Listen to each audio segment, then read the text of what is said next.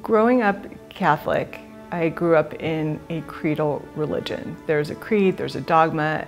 You are told what the foundations and the principles of that religion is. Coming to UU, which is a covenantal tradition, was something that was completely foreign to me. And so when I explain what UU is to people, I start with that. I say it's a covenantal tradition and what that means to you is kind of up to you. I refer sometimes to the seven principles, although I can only recite two of them. One is, one is respect the inherent dignity and worth of every person, and the other one is something along the lines of it is up to you to conduct a free and responsible search for truth and meaning.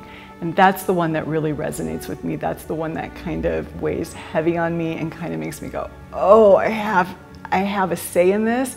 I get to decide what that means. I also have a responsibility to decide what that means and not only to define it, but also to live it.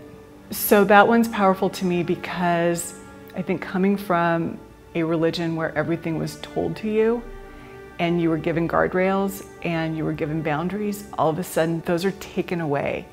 It's up to you to decide how you want to live your life. I like the, the thought from Emerson that says um, everybody's relationship with the divine should be a unique and original experience. And I think being part of a creedal religion takes that original experience away and you inherit what people are telling you to believe. You're inheriting your experiences from your parents and from their grandparents and from generations ahead of you that don't necessarily resonate with you. So having the responsibility to conduct that search yourself is a complete departure from anything that I was told to believe.